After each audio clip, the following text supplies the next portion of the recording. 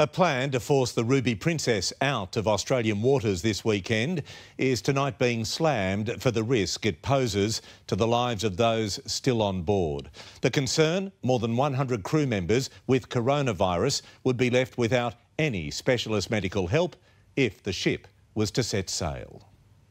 It was almost a throwaway line from the police commissioner at the morning virus briefing looking for a hopeful departure date of this Sunday, and we will be working towards that.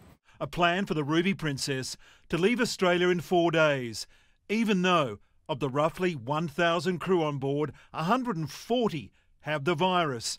The Labor opposition soon had this pointed message for the Premier. If you are going to send that ship offshore, if you are going to send that ship on its way on Sunday, you better be damn sure that every single person is able to travel. Because if one person, one person dies on that vessel, then that is on your conscience. The crew have been the faceless and unheard victims of the Ruby disaster.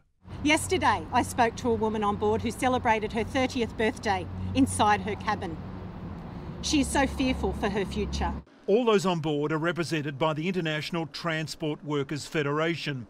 Spokesman Dean Summers says if the Ruby is ordered out to sea, it could be a death sentence for some crew members. Lives at risk, they start stacking up the bodies in the freezers. They can't get medical evacuation that far at sea.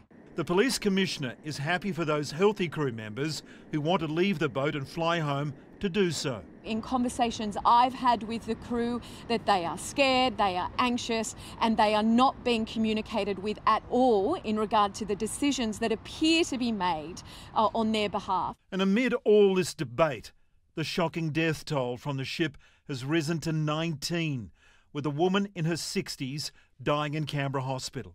This is an absolutely heartbreaking situation for this person's family and friends. In figures collated by Nine News, 845 Australian COVID 19 cases have been linked to the ship.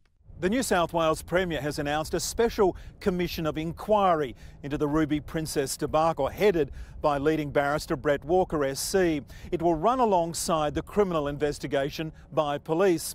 But some passengers are asking, how do you hold an inquiry if the ship and the crew have left Australian waters?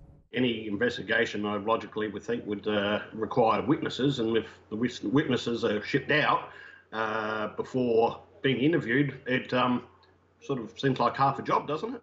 In a statement, Princess Cruises said it welcomed the inquiry, saying it would be an opportunity for all to learn from this tragic event.